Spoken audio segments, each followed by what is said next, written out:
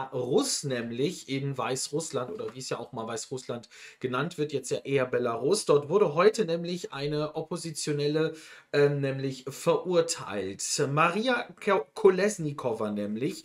Sie ist äh, vor fast einem Jahr nämlich im Zuge der Proteste gegen Machthaber und äh, ja, dem letzten Diktator Europas, wie er gerne genannt wird, Alexander Lukaschenko nämlich, ähm, verhaftet worden. Nun kam es ja im August nun endgültig zum Prozess und heute wurde das Urteil verkündet und das Urteil lautet schuldig. Elf Jahre Haft gibt es für sie nämlich und zwar wegen, und das kommt jetzt natürlich ein bisschen komisch für die, die das wahrscheinlich schon mitverfolgt haben. Und zwar nämlich nach, ähm, ja, an, äh, wegen versuchter illegaler Machtergreifung. Ja, der Prozess ist ja international kritisiert worden gegen die 39-Jährige, denn ähm, neben ihr wurde auch der Anwalt Maxim Snack verurteilt. Er bekam nicht elf, sondern zehn Jahre Haft ähm, wie das heute die Staatsmedien in Belarus bekannt gegeben haben. Kolesnikova hatte sich ja im vergangenen Jahr äh, im Wahlkampf gegen Lukaschenko engagiert, als Manager für den auch ebenfalls inhaftierten ehemaligen Bankier ähm, Viktor Babariko, der nämlich ja auch letztes Jahr bei den umstrittenen Präsidentschaftswahlen, äh, wo ja Lukaschenko angeblich gewonnen hat, aber es natürlich wirklich zu Betrug nämlich kam und dann dementsprechend äh, ja die äh, Proteste natürlich auch losgingen und dort dann unter anderem dann auch die Verhaftungen, die Folter und die Prügel. Ähm, Kolesnikova hatte sich ja natürlich ähm, mit Snack und anderen Gegnern Lukaschenkos, vor allem auch, aus, auch die, die es äh, hinbekommen haben, ins, äh, ja, ins Exil auszuwandern, nämlich äh, den Koordinierungsrat für eine friedliche Machtübergabe in Belarus äh, gegründet. Das Gericht sah es eher als was anderes aus, vor allem nämlich auch eher nicht die Gerichte, sondern die Behörden. Die sagen nämlich, dass das Ganze nämlich ähm, eine Verschwörung ist mit dem Ziel einer illegalen Machtergreifung und sowie der Gründung und der Führung einer extremistischen Vereinigung. Das wird denen nämlich auch unter anderem vorgeworfen, wie es so schön heißt. Ja, die Oppositionelle hat äh, auch ein Interview geführt, ein schriftliches Interview eher, nicht eins mit Kamera und so, sondern eher ein schriftliches Interview mit dem äh, oppositionellen russischen Sender oder unabhängigen russischen Sender Dost nämlich. Ähm, sie sprach dort nämlich von einer absurden Anschuldigung und das ist ein weiteres Beispiel dafür sei, dass äh, die Gesetzlosigkeit, dass es äh, eine Gesetzlosigkeit des Polizeistaates dort in Belarus gebe. Sie formte mit ihren Händen ja auch in Handschellen ein Herz. Ähm, das ist ja immer wieder dieses Herz, ne? Ist ja immer eines ihrer Markenzeichen natürlich gewesen. Auch letztes Jahr, als ja die Protestbewegungen gegen Lukaschenko ja ebenfalls begonnen haben. Und vor dem Gerichtsgebäude haben sich unter anderem auch sehr viele Menschenmassen gebildet oder Menschenschlangen nämlich und haben natürlich gegen diese, ähm, ja, gegen dieses Urteil natürlich auch protestiert.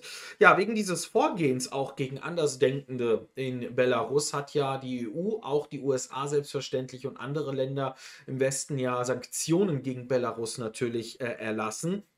Der Machtapparat in Minsk zeigte sich davon bisher, sagen wir mal so, nach dem Motto, brauchen wir nicht. Warum? Ne? Wir, wir brauchen euren Scheiß nicht. So nach dem Motto. Ähm, natürlich klar, denn man braucht den Scheiß, wie man es so schön sagt, nicht, denn man äh, wird ja unter anderem nämlich von einem anderen Mann unterstützt, nämlich wenn wir etwas weiter in den Osten gucken, nämlich in Russland von Wladimir Putin, dem russischen Staatspräsidenten nämlich.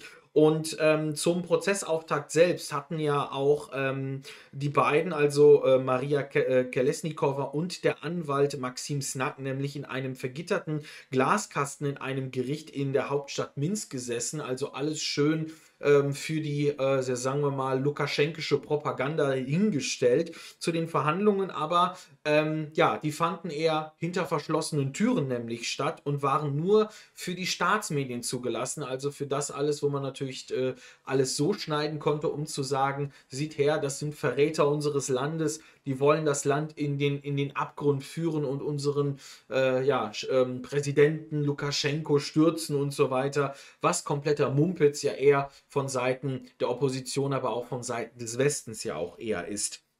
Ja, die Urteilsverkündung hingegen heute war öffentlich, was auch ziemlich natürlich zeigt, dass das alles auch für viele einfach nur stumpf inszeniert ist. Auch die Bundesregierung hat sich ja darum bemüht, dass ja ähm, äh, sie freigelassen wird, weil sie war ja früher unter anderem Kulturmanagerin in Stuttgart nämlich. Jetzt ist sie aber ja eine, ja, leider, man muss es so sagen, bestrafte Oppositionspolitikerin. Anfang letzten Jahres wurde ja die Politikerin vom Geheimdienst KGB in Minsk entführt, als sie in die Ukraine Ukraine abgeschoben werden sollte, zerriss sie kurz vor dem Grenzübergang ihren Pass und vereitelte dann auch so die Pläne, äh, sie aus dem Land zu vertreiben. Sie hatte ja auch immer wieder deutlich gemacht, den Kampf gegen Lukaschenko im Land zu führen, im Gegensatz natürlich ähm, zu anderen Politikerinnen und Politikern, die natürlich oder generell auch äh, Oppositionellen, die ja dann eher ins Ausland geflüchtet ist, sind. Wir wissen ja, wir können uns ja noch daran erinnern, was ja Lukaschenko ja auch noch gebracht hat, vor allem nämlich auch ein Flugzeug, einfach mal von Ryanair, was ja über den belarussischen Luftraum fliegt, einfach mal nach Minsk steuern und dort einen Oppositionellen, der ja äh, in Polen lebt, mal einfach mal zu verhaften. Dazu ist ja Lukaschenko leider fähig.